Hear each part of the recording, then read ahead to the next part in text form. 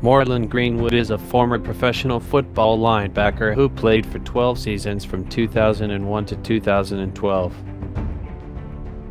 Greenwood was born on July 17, 1978 in Kingston, Jamaica. In college, Greenwood played for the Syracuse Orange and Syracuse.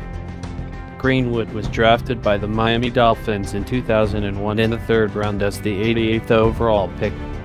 Over 12 seasons, Greenwood played for the Miami Dolphins, the Houston Texans, and the Oakland Raiders.